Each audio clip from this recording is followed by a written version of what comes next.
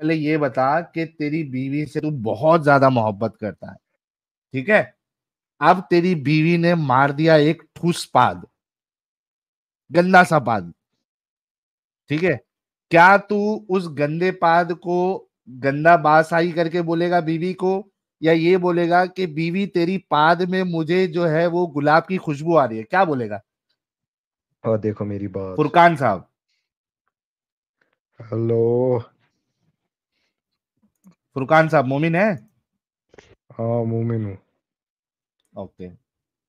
नमाज़ पढ़े आज तरावी की? अल्हम्दुलिल्लाह। कौन सी सूरत चल रही है अभी? अभी हमारे ये अम्मा पारा ही कर रहे हैं अलिफ लाम मीम से नहीं अभी कर अम्मा पारे? हाँ। तीस तीस पारे पे पहुँच गए आप? हाँ तीस पारे पे हाँ। अरे फटाफट भाग रहा आपका कारी तो। फटाफट भाग रहा है हाँ ओके। कोई सुनाओ? अम्मा पारा से कोई सूरा सुनाओ? बिस्मिल्लाहिर्रहमानिर्रहीम। अलम तरा कैफ फ़अल रब्बुक बिअस्हाबिल फील? अलम यजअल कैदहुम फ़ी तज़लील व अरसल अलैहिम तयरन अबाबील? तरमीहिम बिहिजारतिम मिन सिज्जील फजअलहुम कअस्फिन माकूल।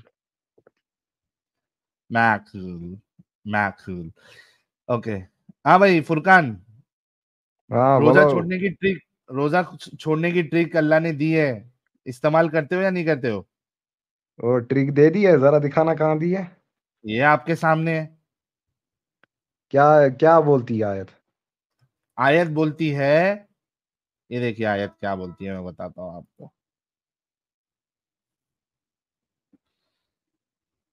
ये देखिए आयत बोलती है चलो इनका देख लेते हैं। फतेह मोहम्मद जालंधरी साहब। रोज़े के दिन गिनती के चंद रोज है तो जो शख्स तुम में से बीमार हो या सफ़र में हो तो दूसरे दिनों में रोजों का शुमार पूरा कर ले और जो लोग रोजा रखने की ताकत रखे लेकिन रखे नहीं वो रोज़े के बदले मोहताज को ये खाना तो ये खिला दे क्या क्या क्या? एक सेकंड ये क्या लेकिन ये ट्रांसलेशन इंग्लिश में हो सकता है इसका उर्दू के बगैर? ये लीजिए इंग्लिश में कर देते हैं। ये कौन सी चैप्टर है? वर्स क्या ये? चैप्टर टू वर्स नंबर 184 भाई। अच्छा क्या बोलते हैं ये? Fasting for a limited number of days so whoever among you is ill or on a journey then an equal number of other days are to be made up and upon those who are able to fast but with अच्छा ये but with hardship नहीं इधर अ ransom as substitute पता चल गया भाई अब क्या बोलोगे ये नहीं है। पता चल गई भाई। क्या पता चल गया? जिन पे मुश्किलात हैं कमज़ोर है बेचारा कोई कोई नहीं ना ना ना। ये भाई भाई बस हो गया। कुरान ये देखो तुम्हारा कुरान ये बात नहीं कहता है। ये देखो ये क्या लिखा हुआ है? इसका जरा ये लाना इंग्लिश में इंग्लिश में लाना एक। मैं देख लेता ना इंग्लिश में भाई ये यहाँ से इंग्लिश कैसा करते हैं मुझे नहीं मालूम है। रुक जा क्लिक करके देखता हूँ। और ऊपर अल्लदीना इन लोगों के युति युति को न हो कोई नेकी। जो, ये क्या है? जो ताकत रखते हो इसकी, ये देखो। क्या है? युति कु न हो जो ताकत रखते हो इसकी। फिदियतुन, फिदिया है तो आमू, खाना, मिस्कीन, एक मिस्कीन का। जो ताकत रखता हो और ना रखे इसके लिए एक मिस्किन का खाना है जो कि आप यार अगर वो उर्दू ट्रांसलेशन अंग्रेज़ी में देखो साहिल अंग्रेज़ी हाँ। में ब्रैकेट्स में है to fast with hardship it's not brackets का एग्जैक्ट मतलब मैं होता है कि वही बोल अरबी में रहा हूँ नहीं है अरबी में नहीं है। मैंने हम्म उसको वही कहा है अरबी में नहीं है वो। ओ देखो पहले बात सुनो ऐसे बहुत से लोग हैं जो रख सकते हैं मगर उनको बाद में हेल्थ प्रॉब्लम्स हो जाएँगी। ये उनके लिए भी बात हो सकती है। कैसे पता लगेगा बाद में हेल्थ प्रॉब्लम हो सकती है? हाँ क्यों नहीं हो सकती है? मगर ऐसे जैसे कोई बंदा है वो इस कैसे पता काबिल लगेगा? है कि वो रोजा रखे। बाद में उसको ऐसी चीज़ें जैसे डॉक्टर्स ने उसको बोला कि आप रख सकते हो मगर it is not advise advisable for you. तो कहाँ पे बस लिखा है कि वो नहीं ये रखते कहाँ पे लिखा है? कहाँ पे लिखा है कि ये हेल्थ तो ये प्रॉब्लम तो अकल वाली बात है कि इसने इसी पे हम्म बात की अक्ल वाली ना बात है। आप कुरान में लफ्ज ऐड कर रहे हो? ऐड कहाँ कर रहा हूँ मैं? ये तो उन्हीं के लिए ऐड ना। कर रहे हो बात ना तो ऐड कर पता रहे हो चल रही है ना सीधा? नहीं ऐड कर रहे हो? क्या पता चल रही है? पता पता चल रही है जो हाँ चल रही है पता जो बंदे रख सकते हैं मगर वो ना है रखें। ताकत रखते हो बीमार पड़ने वाले हो नहीं लिखा है ताकत रखते हो जो। देखो स्टार्टिंग वाली लाइन में लिखा है कि जो क्या था मिस्कीन है बाकी उनको खाना खिलाओ। उससे पहले कि जिनको छूट जाए वो बीमार हो कुछ हो वो बाद कहाँ में बीमार हो कहाँ तो लिखे बीमार हो। और वो लिखा है ना ऊपर देखो ना ट्रांसलेशन क्या इंग्लिश में जरा निकालो। हाँ पढ़ो। क्या में में सही इंटरनेशनल जो लेके आए थे ले हाँ। हाँ जी। जो बीमार हो उसके बारे में क्या लिखा है? ये देखा limited days so when whoever among you is ill or on a journey during them then an equal number of other days are to be okay तो अगर आप बीमार हो सब्र करो। अगर हम्म। आप बीमार हो तो हम्म। आपने रोज़े छोड़ने हैं लेकिन बराबर उसके बाद उतने ही रोज़े बाद में रखने हैं। ये लिखा हुआ ना? उसके बाद equal number of days then an are to be equal number of days after other days so इसका मतलब है जब आप बीमार हो तो आपने रोजा बाद में रखना है राइट हाँ। ओके अब उसके बाद फुल स्टॉप है? क्या है? हाँ फुल स्टॉप तो लगा है ओके हाँ, क्या अब आगे क्या क्या कह रहा कॉमा है? And among those who. Are able a ransom to feed a person उसके बाद ये लिखा है अगर आप एबल हो यानी कि अगर आप ताकत रखते हो रोजा रखने की फिर भी नहीं रखना चाहते। बीमार नहीं हो बीमार ने तो बाद में रखने हैं। आप ताकत रखते हो रोजा रखने की फिर भी नहीं रखे तो आपने क्या करना है? एक मस्कीन को खाना खिलाना है बस। तो मिस्कीन को खाना खिला पहले तो आया है ना बीमारों का तो बीमार को बीमारों का खत्म हो गया ना बीमार के बात नहीं हो खाना नहीं खिलाना है। देखो बीमार ने तो बाद में रोजा रखना है। रुको बीमार ने बाद में रोजा पूरा करना है बीमार की बात नहीं हो रही। अब उसकी बात हो रही है जो सेहतमंद है। वो अगर अच्छा रोजा छोड़ना अच्छा चाहे तो क्या करे? अच्छा मेरी बात सुनो बीमार एक होता है बीमार जो थोड़े टाइम के लिए बीमार होता है एक बीमार होता है जो लाइफ लॉन्ग रह भाई मुझे मुझे नहीं परवाह यहाँ पे वो कह रहा है अगर तुम रोजा रख सकते हो। अगर तुम एबल हो रोजा रखने के काबिल हो तो क्या करना है अगर रोजा छोड़ो तो? एक मस्कीन को खाना खिलाओ बस। हाँ तो कोई बंदा है वो ताकत रखता है रोजा रखने की उसको हो सकता है उस रोजा की ताकत हो उसमें नहीं रख पाए तो बस खत्म मसला क्या कर बात खत्म एक मस्कीन को खाना बात खत्म साहिल साहब बात खत्म बस। ठीक है ना मानते हो ना इस बात को फुरकान? अरे मैं कह रहा हूँ अगर उसको ताकत है रोजा रखने की मगर उसको हेल्थ प्रॉब्लम है कि हो सकता है वो रोजा ताकत है तो हेल्थ प्रॉब्लम कैसे है? हेल्थ प्रॉब्लम नहीं है तभी तो ताकत है ना। मतलब ये चीज़ तो ये चीज़ तो तुम मानते हो ना कि कोई एक बंदा है वो रोजा रख रखना चाहता है या रख सकता है मगर उसको उसके हालात इजाज़त नहीं देते हो रखने की। क्या तो हालात? ताकतवर कैसा हुआ वो? ताकतवर क्या मतलब है? फिजिकली हो सकता है फिजिकली वो नॉर्मल हो। हो तुम ताकत रखते हो कि दस किलो का भट्टा उठा लो। इसका क्या मतलब होता है? क्या मतलब क्या क्या? तुम ताकत रखते हो कि दस किलो का पत्थर उठा लो। इसका क्या मतलब है? मतलब कैपेसिटी है तेरी वो उठाने की ओके अब अगर तुम नहीं उठा सकते क्योंकि तुम बीमार हो या तुम्हें कोई प्रॉब्लम हो जाएगी उसको उठाने से तो इसका मतलब है तुम दस किलो का पत्थर उठाने की ताकत नहीं रखते। क्योंकि तुम्हारी कमर में चुक पड़ जाएगा कमर टूट जाएगी। इसका मतलब है तुम ताकत नहीं रखते। एक चीज़ मैं बताता हूँ। अगर वो उठा भी सुनो सुनो ना सुनो। अगर वो उठा रहा है ठीक है?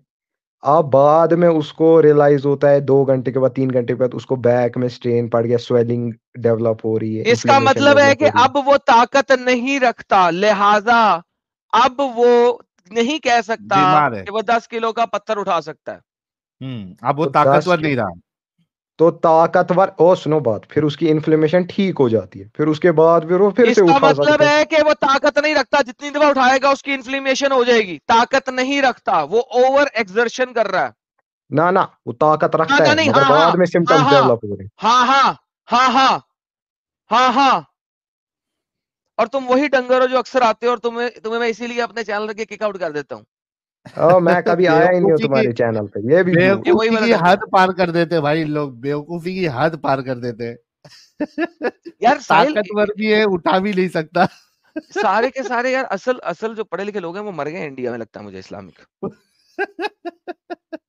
ओ ये तो पता है मेडिकल कंडीशन हो सकती है किसी को इसमें कुछ नहीं कर सकते। यार तुम इतने बेवकूफ़ और जाहिल हो कि तुम्हारे अर्ली स्कॉलर सारों के सारे तुम तुम्हें कहते हैं कि तुम जाहिल हो। तुम्हें पता है इस बात का? कौन बोलता है जरा दिखाओ। सारे के सारे। कुर्तबी तिबरी इब्ने कसीर सब के सब तुम्हें जाहिल बोल रहे हैं। किन किन को? नाम है वहाँ स्पेसिफिकली जो तुम्हें जो तुम इसकी ट्रांसलेशन ये दे रहे हो उसके बारे में सारे के सारे अर्ली स्कॉलर तुम्हें जाहिल बोलते हैं। गधा क्या बोल बोलते हैं क्या बोलते हैं स्कॉलर दिखाओ जरा। वो तुम्हें गधा बोल रहे हैं। जाके पढ़ के आना फिर मुझे बताना क्या बोल रहे हैं। जाओ अच्छा पढ़ के जरा हाँ लिंक तो जरा लिंक दो इसमें। चैट में लिंक देना अरे फुरकान सुनो। वो तो ठीक हो गया तुमको तुम वहाँ पे तो अभी एक्सपोज हो गए तुम्हारी दिमागी अपंगता तुमने बताई। मेरे को देखने का यहाँ पे तुम क्या हाँ एक्सपोज हो गया भाई बहुत एक्सपोज हो गया। क्या क्या तुम जलेबी मारते हो ये देखेंगे। ये हदीस पढ़ो इंग्लिश में तुम्हारे सामने। ये कहाँ से आई है हदीस? सही बुखारी। ये तो कुरान पे थे ना अभी शायद। वो तो हो गया ना डिस्कशन तुम वहाँ बर्बाद हो गए। ब...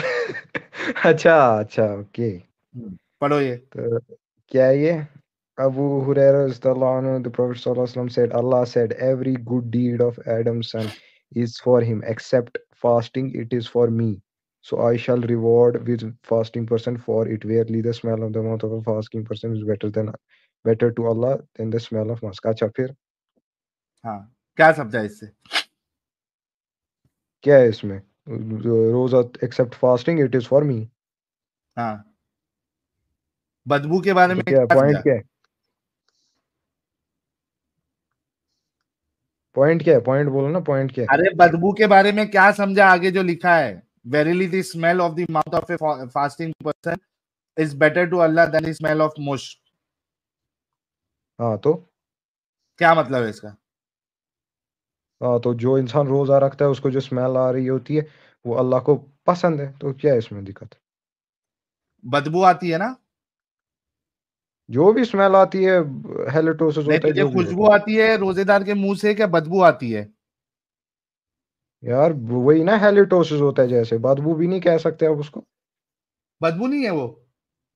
ओ उसको नहीं बोलते साइंटिफिक टर्म में बदबू उसको बोलते हैं हेलेटोसिस जैसा वो वो अनप्लेजेंट खुशबू लगती है बदबू लगती है? ओ वो नहीं एक हिसाब से पू- मतलब कह सकते हैं बदबू है मगर वो एक हिसाब से हेलिटोसिस होता है मतलब अनप्लेजेंट तो ये है बदबू जो है ये ये मुश की खुशबू कैसे बन गई अल्लाह के लिए? वो देखो इसका ये मतलब नहीं है मेटाफोरिकली है है। मतलब कि अल्लाह देखता है कि तुम उसके लिए कितनी हार्डशिप्स फेस कर रहे हो दिन को भूखे हाँ रह रहे तो हो। वैसा बोलता खाना ना कि तुम तकलीफ़ में हो मेरे अरे लिए भाई ले तकलीफ़ लो में ना हो। मेटाफर अरे अरे मेटाफोरिकली ले लो ना इसमें क्या मसला है? क्यों? अरे मेटाफरिकली भी वो मैच तो होना चाहिए मेटाफर मैच तो हो रहा है ना क्यों नहीं हो रहा है? कैसे मैच हो रहा है? एक गंदगी को तुम खुशबू बता रहे हो यानी तू पाद मारे नहीं तू नहीं तेरी बीवी पाद मारे और तू बोले कि ए मेरी प्यारी बीवी तेरी पाद मेरे लिए जो है वो एक स्वाद है फालूदे का स्वाद है। ऐसा बोलेगा? मेटाफर मारेगा ऐसा? ओ ये तो है ही नहीं जैसे बोलते ना कीचड़। देखो देखो सुनो ऐसे मत होता है जैसे बोलते ना कचड़ ये कीचड़ में निकला कंवल का फूल। भाई ये तो हाँ। ऐसी होगी ना बात वैसी बात हाँ तो कीचड़ में कंवल का फूल निकलता ना वो तो कंवल ही रहता ना लेकिन। हाँ तो उसमें क्या मसला है? कीचड़ से ही तो निकलता है ना गंदगी से निकल रहा है ना। भाई गटर में गटर में अगर गू है तो उस गू को बोलेगा कि ये गू नहीं है ये तो शहद है ऐसा बोलेगा? मेरे को एक चीज़ बताओ तुमने लोटस स्टेम खाई है कभी? नहीं नहीं खाया। नहीं खाया? वो हाँ। कीचड़ में ही होता है जाओ उस पर रिसर्च करना अरे वो कीचड़ में होने दे भाई लेकिन कीचड़ में कवल अग- कमल आ रहा है तो वो कमल ही है वो फूल ही है लेकिन कीचड़ में अगर नहीं वो फूल तेरा नहीं है। ना तेरा ना गू ना रखा है है। सुनना भाई कीचड़ में अगर गू रखा है तो क्या उस गू को तू बोलेगा कि ये शहद है? कीचड़ से जो निकल रहा है हाँ। वो क्या है? वो क्या है? अगर गू है तो उसको गू बोलेंगे अगर कमल है तो कमल बोलेंगे। ओहो मैं कह रहा हूँ वो क्या है? कमल है ना? वो कहाँ से निकली? हाँ। कीचड़ से निकली ना? अरे लेकिन वो कमल है ना रे भाई कमल है ना वो फूल है ना? गू को तो फूल बोलेगा क्या? ये तो वही बात हो गई इंसान इंसान से टट्टी निकलती है तो इंसान ही टट्टी होगा। अरे यार ये क्या बात हो गई? नहीं अरे इंसान टट्टी नहीं है लेकिन इंसान की टट्टी तो टट्टी है ना। ओ तो इंसान टट्टी बन गया उसे? मैंने ये कब कहा इंसान टट्टी बन गया? और तुम्हारा कहने का मतलब ये वो अलग है ये अलग है। मैं तुमको वही समझा रहा हूँ वो उसी से निकला है ना। इंसान की टट्टी तो टट्टी रहेगी ना भाई। तो इंसान तो इसका कहने का मतलब क्या क्या है इस कहने का मतलब ये है यार तुम लोगों को कसम से तुम लोग इतने बड़े जाहिल और दिमागी अपंग है। कहने का मतलब ये है कि आपकी बीवी अगर पाद मारे तो उसको तुम खुशबू नहीं कहोगे उसको तुम ऊद अतर नहीं कहोगे। पाद तो को अगर गंदी बात सुनना भाई तेरी अच्छा बीवी पाद मारेगी तो उसको तू बदबू ही कहेगा।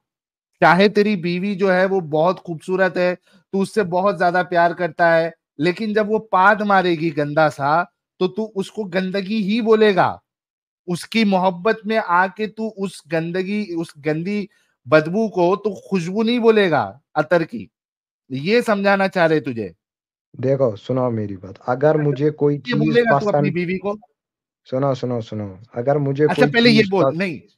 ओहो मुझे करने दो ना पॉइंट तो कंप्लीट करने दो फिर मैं मेरा मेरा सवाल का जवाब दे फिर अपना पॉइंट ले। ओ मुझे सिर्फ़ इतना बता तू तेरी सुनो ना सुनो ना। अरे सुन मेरा सवाल सुन इसका जवाब दे फिर अपना पॉइंट रख। पहले ये बता कि तेरी बीवी से तू बहुत ज़्यादा मोहब्बत करता है ठीक है? अब तेरी बीवी ने मार दिया एक ठूस पाद गंदा सा पाद ठीक है? क्या तू उस गंदे पाद को गंदा बासाई करके बोलेगा बीवी को या ये बोलेगा कि बीवी तेरी पाद में मुझे जो है वो गुलाब की खुशबू आ रही है। क्या बोलेगा? और देखो मेरी बात सुनो। पहले इस सवाल का जवाब देगा तभी आगे बढ़ने दूँगा।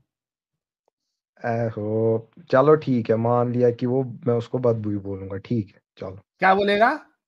मैं अपने पर्सपेक्टिव से बोल रहा हूँ ठीक है? हाँ हाँ क्या बोलेगा? हाँ मतलब यही बोलूँगा ना कि क्या? अनप्लेजेंट स्मेल है और क्या? गंदी बात ही बोलेगा। चलो इतना यहाँ दिमाग चल रहा है कि बीवी से चाहिए कितना भी मोहब्बत करे और कितनी भी खूबसूरत इसकी बीवी रहे वो अगर गंदे बास का पाद मारेगी तो ये बोलेगा कि ये पाद ही है उसको गुलाब की खुशबू नहीं बोलेगा। इतना तो अकल तो सुन एक सुन फुरकान रुक। तेरी अभी इतनी अक्ल चली तेरी अल्लाह की अक्ल क्यों नहीं चली है ना ना पूरी बात गंदी चीज़ को गंदी चीज़ ही बोलना है। सुनो सुनो सुनो सुनो पूरी हाँ। बात सुनो मैं कह रहा हूँ मैं अपने पर्सपेक्टिव से देखो मैंने ऐड किया की लाइन में। मैंने कहा मैं अपने पर्सपेक्टिव से बोल रहा हूँ। अगर मैं बोलता ये कि हाँ जी कोई दूसरा फलाना बंदा है उसको भी ये डिपेंड करता है कि तुझे पसंद क्या है। मतलब कि तू अगर वो चीज़ पसंद कर रहा है वो उस चीज़ को तू लाइक मतलब कर रहा है अल्लाह को गंदी खुशबू पसंद है?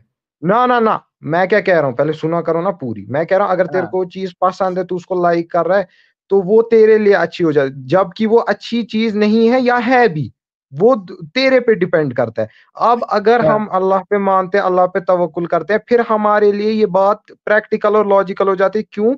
क्योंकि वो क्यों? बंदा हार्डशिप से गुजर रहा है। तो? जो और मेटाफोरिकली लिया गया है इस लाइन में। यार साहिल तू इससे बात ही क्यों कर रहा है? वैसे मैं काफ़ी देर से सुन रहा था चुप करके चल भाई फुरकान हो गया तेरा। लाइक सीरियसली स्पीकिंग लाइक कोई कोई तो अकल वाला बंदा पकड़ यार। अरे ले यार एडम साहब थोड़ा खेलने में मज़ा आती यार। अच्छा खेल रहा था। अच्छा फिर ठीक है फिर ठीक है फिर ठीक है ओके। यानी तू सोचो ना इन लोग के आर्ग्यूमेंट देखो कितने खतरनाक खतरनाक रहते हैं। Okay as long as you खेल रहा था दैट्स फाइन मगर लाइक एज लाइक कोई तो